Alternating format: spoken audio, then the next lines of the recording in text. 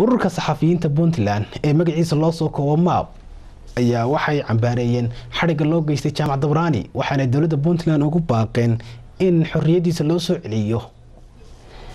Warkaasi faahfaahintiisa waxaa inoo haya siciid soona oo garowa nooga soo warama wariye jaamac yuusuf jaamac dabaraani oo ka tirsan tv-ga somaali janal ayaa lagu xiray magaalada garowe waxaana xadhiggaasi sabab u noqday waraysi uu dhowaan ka qaaday wasiirka warfaafinta puntland maxamuud xasan soocadde waraysiga ayaana markii uu ka baxay tv-ga somaali janal waxaa warqad qoraal ah ay ka soo baxday wasaaradda warfaafinta puntland taasoo lagu amrayo in wariye jaamac dabaraani uu gebi ahaanba shaqada joojiyo. Balse jaamac ayaa ku sifeeyey warqadaasi mid aan sharci ahayn waxaana uu codsaday in eedda loo haysto sharciga loo bandhigo si markaasi nidaam sharciga waafaqsan loogu kala baxo hadalhaynta arrinkaasi oo sii dheeraaday islamarkaana warbaahintu ay qoraallo ka qoreen ee ataliska qaybta gobolka nugaal waxaa loo gudbiyey warqad kale oo lagu amrayo inuu gebi ahaanba shaqada joojiyo wariye jaamac dabaraani dood badan kadib ayaana taliska qaybta gobolka nugaal waxay xabsiga dhigeen wariye jaamac dabaraani gudoomiyaha ururka suxufiyiinta puntland ee maab faysal khaliif barre ayaa cambaareeyay xarigga wariye jaamac dabaraani waxaana uu ku tilmaamay mid lagu caburinayo xorriyadda hadalka.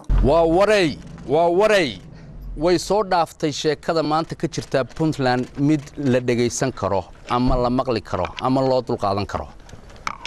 Guud ahaan waxay maraysaa xaaladdu inaan qof codkiisa iyo xorriyaddiisa iyo afkiisa ku hadlaa uusan jirin.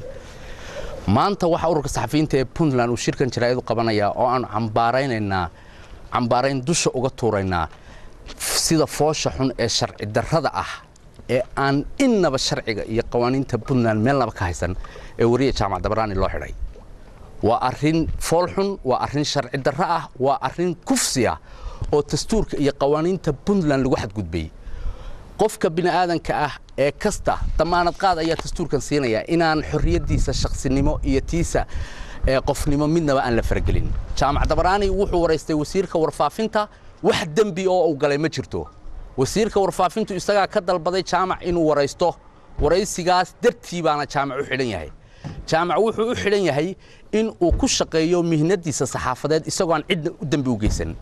Jaamac wuxuu ku xidhan yahay xaqdarro aan geedna loogu soo gaban baarlamaanka puntland hay'adaha sharciga madaxweynaha dhammaan waxaan ogeysiinaynaa in arrintan ay tahay arrin aan marnaba qaanuunkeenna meelnaba kaga jirin haddii la ixtiraami waayo qaanuunka aynu leennahay heshiis bulshaa lagu wada joogaa. Haddii la ixtiraami waayo arrintu waxay u ekaanaysaa in laysu xoog sheegto sharciga la dumiyo qofka xorriyaddiisa iyo shaqsinimadiisa iyo qofnimadiisa intaba meel looga dhaco. War xaggee adduunka lagaga arkay nin intuu dalbaday in la waraysto wariyihii waraystay odhanaya ha la xidho oo weliba toddobiyo toban maalmood booliisku ay ka shaqaysan laayihiin oo la leeyahay maalin walba ha la soo xidho wiilkaas. Jaamac wax dembiya ma geysan wax dembiya waddanka kama gelin wax dembiya shakhsi kama gelin wuxuu waraystay wasiirka warfaafinta oo keliya. Wax dembi oo uu geystay ma jiro. Arrinta kale jaamac waxa uu haddana waraystay wasiirka arrimaha gudaha oo uu habeen hore waraystay kana waraystay xaaladda guud ee soomaaliya. Been muu sheegin cid kale muu samayn madax dawladeed oo sharci u leh in la waraysta ayuu waraystay. Wax dembiya muu gelin. Haddii cidi dembi gashay cidda dembiga gashay ha loo raadsado laakiin wariyahaas waxaannu ku baaqaynaa in sida ugu dhaqsaha badan loo soo celiyo sharaftiisii isla markaasina raaligelin laga bixiyo. Dulqaad dambe kama samaynayno khaladaadka istabajoogga ah ee uu samaynayo wasiirka warfaafintu. Madaxweynuhu haddii uu arrintaasi la qabo wuu la qaba haddaanu la qabinna waxaannu codsanaynaa in sharciga la mariyo wasiirka warfaafintu siduu qaanuunka iyo dastuurka ugu tumanayo. Wax loo dulqaadan karana ma aha waa wax foolxumo ah waa wax ceeb ah waa wax waddanka iyo qaanuunka intaba ceeb ku ah. Maanta waxaannu taagannahay waa warey way soo dhaaftay xaaladdu sidii caadiga ahayd waana xadgudub iyo sharci burburin iyo in waddankan la qaso.